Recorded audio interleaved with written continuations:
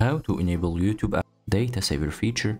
That's what we're going to do in today's video. But first, make sure to like the video, subscribe to the channel, and write down below in the comments section any suggestion or question that you have. Also, make sure to watch our previous videos and tutorials and find and watch our playlists. We have playlists for many apps and let's get started.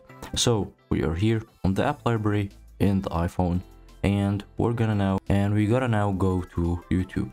Now let's open YouTube, search for it and open it, open it, and then you have two options to enable data saver feature. If you just need to enable it for just one time, all you gotta do is open the video that you want.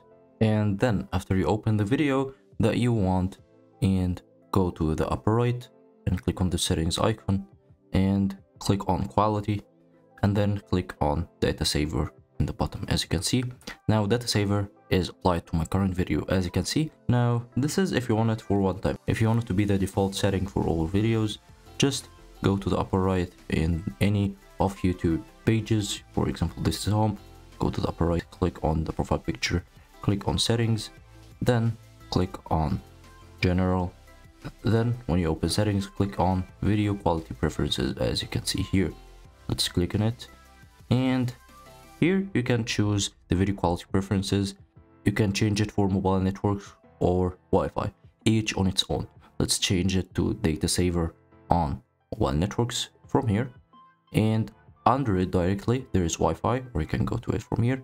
Just the same page but there are two buttons. I don't know why they're doing this but here you change it to data saver for mobile network. And here is the video quality. You change it to data saver on wi-fi and if you want to get it back just click on auto on both again.